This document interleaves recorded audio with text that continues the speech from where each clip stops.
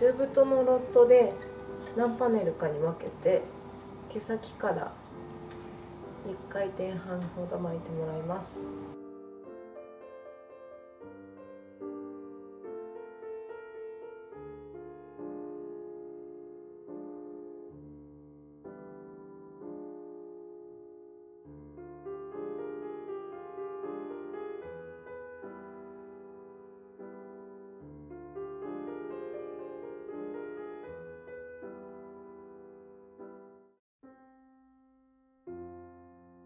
スタイリング剤をまずつけます5円玉ぐらいの量をよく手のひらで混ぜ合わせます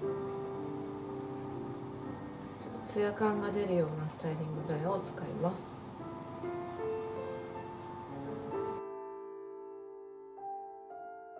パートはセンターでちょっと無造作に分けてまっすぐにならないようにちょっとギザギザに作ります。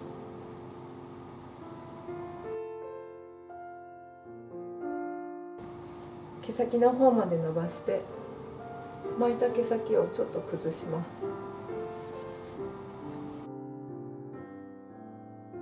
ハーフアップにします。手ぐしでかき上げるように全体の3分の1を取ります。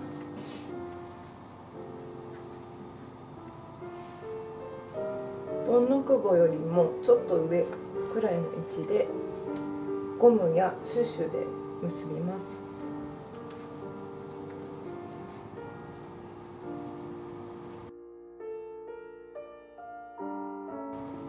結んだ後にちょっとトップの後頭部をシルエットをきれいに見せるために引き上げます。